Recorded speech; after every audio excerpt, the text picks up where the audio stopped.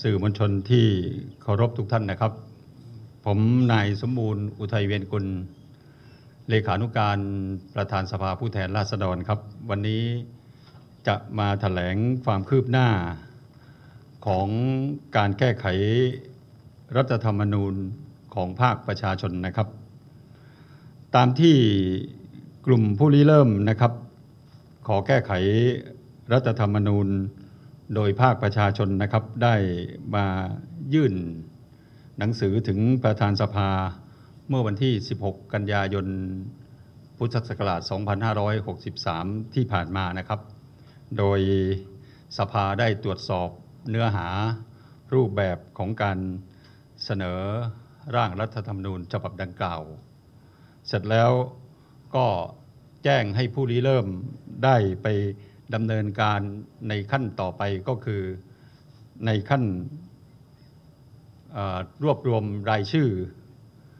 เพื่อขอแก้ไขรัฐธรรมนูญดังกล่าว ซึ่งตามรัฐธรรมนูญกำหนดไว้ว่า จะต้องมีผู้เข้าชื่อไม่น้อยกว่า 50,000 รายชื่อ ในวันที่ 22 กันยายนที่ผ่านมานะครับ กลุ่มผู้ริเริ่มก็ได้นำรายชื่อ ของภาคประชาชนมาเสนอต่อสภานะครับ สภาก็ได้มีการตรวจสอบรายมือชื่อ และก็สำนวนสำเนาบัตรประชาชนของผู้เข้าชื่อเสนอแก้ไขรัฐธรรมนูญนะครับ โดยสภาได้ตรวจสอบมีผู้เข้าชื่อทั้งสิ้น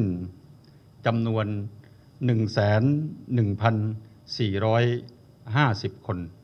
นะครับ ซึ่งได้ตรวจสอบเสร็จสิ้นกันไปเมื่อวานนี้ แล้วก็ขอเรียนว่าวันนี้ครับวันที่ 1 ตุลาคม ทางสำนักงานเลขาธิการสภาผู้แทนราษฎรก็ได้ส่งข้อมูลเลขบัตรประชาชนของผู้มีรายชื่อ ที่เข้าชื่อเสนอกฎหมายนะครับ แก้รัฐธรรมนูญจำนวน1 1 1,450 รายชื่อ ไปยังกรมการปกครองกระทรวงมหาดไทยนะครับ เพื่อดำเนินการตรวจสอบว่ารายชื่อดังกล่าวเป็นผู้ที่มีสิทธิ์เลือกตั้งตามกฎหมายรัฐธรรมนูญหรือไม่นะครับ มีสิทธิ์ที่จะเข้าชื่อเสนอกฎหมายหรือไม่นะครับ ในขั้นตอนนี้มี รัฐธรรมนูญกำหนดไว้ทั้งหมดกฎหมายกำหนดไว้ทั้งหมด 45 วันนะครับ ก็ขอเรียนว่า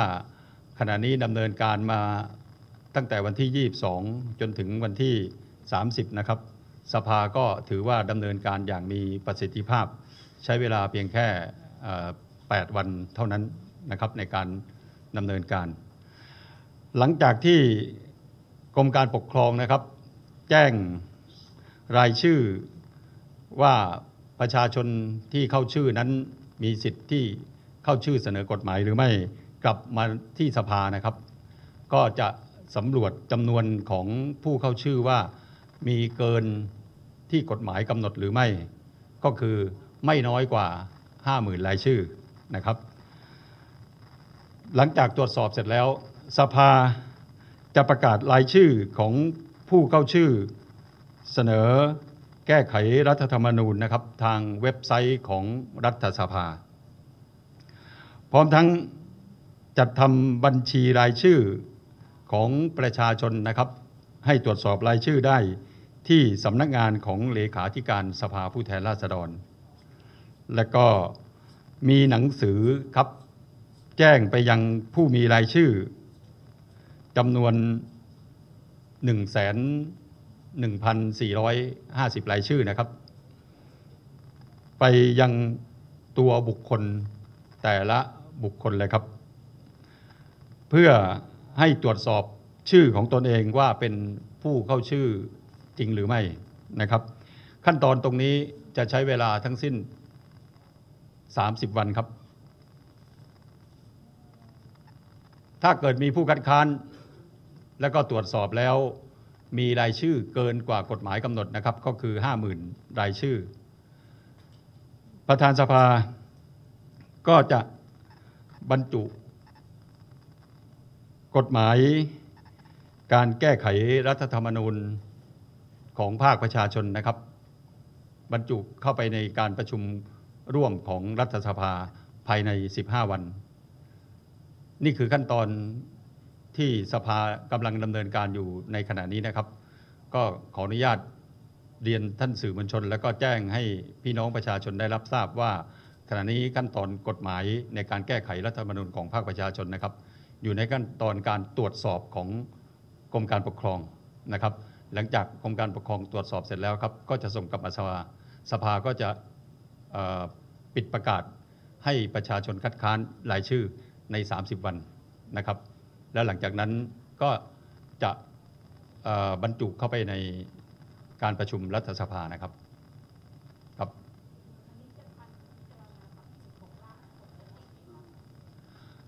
ตามตามตารางเวลานะครับตามตารางเวลา ซึ่งขณะนี้กฎหมายการแก้ไขรัฐธรรมนูญ 6 ฉบับของของรัฐสภาที่ตั้งคณะกรรมการวิสามันในการพิจารณาก่อนรับหลักการนะครับ อยู่ในขั้นตอนการพิจารณา ซึ่งเขา พิจารณาทั้งหมด 30 วันนะครับ ซึ่งจะครบในวันที่ 23 ตุลาคมที่จะถึงนี้นะครับ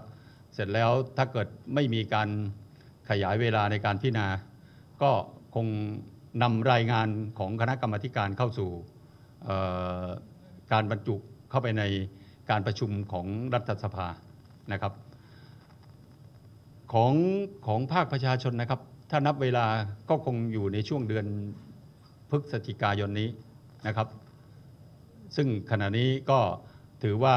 สภาดำเนินการอย่างมีประสิทธิภาพนะครับก็ก็ต้องขอชื่นชมเจ้าหน้าที่นะครับ ซึ่งประธานสภาก็ท่านมีดำริตั้งแต่เบื้องต้นนะครับที่ประชาชนยื่นกฎหมายเข้ามาสู่สภานะครับ ท่านก็กำชับให้ดำเนินการให้ถูกต้องตามกฎหมาย แล้วก็เร่งรัดในการดำเนินการ ซึ่งก็คาดว่า คาดว่านะครับ